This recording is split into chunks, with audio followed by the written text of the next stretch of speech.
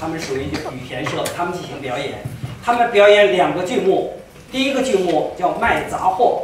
啊，是一个人去相亲，想看看自己的未婚妻，但是他又不好意思见面，所以就化妆成一个卖货郎，挑着担子到门口去守着要卖货，等姑娘出来买货来进行相亲这么一个故事。